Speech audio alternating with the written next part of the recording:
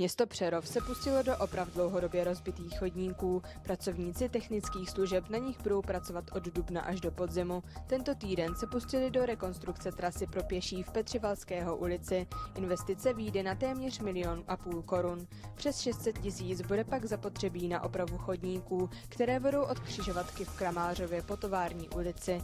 Do budoucna chce město investovat do oprav dalších tras pro pěší i v jiných částech Přerova.